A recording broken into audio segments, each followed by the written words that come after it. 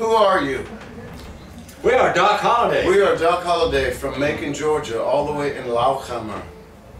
Why? We're glad to be here. We're glad to be here. Where are you? Lauchhammer. Where are you? Do you like the Real Music Club? Yes. Of course. Very no, I hate it. What a It's terrible. What a place. great venue. No, they don't treat you well. Especially that guy with the hat. the guy with the hat. It's bad. He doesn't do anything. Anybody nice. with a hat. really. Everybody with a hat is not good. People that have hats are not good. The food was terrible. The music was terrible. was- The band was terrible. The band was terrible. but the club was great. the No, club the, is the real truth is, the Real Music Club is the best music venue.